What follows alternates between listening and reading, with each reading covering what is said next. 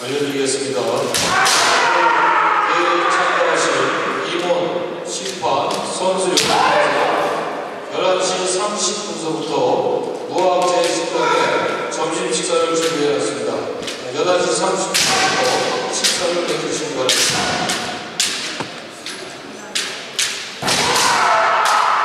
다시 한번 알려드리겠습니다.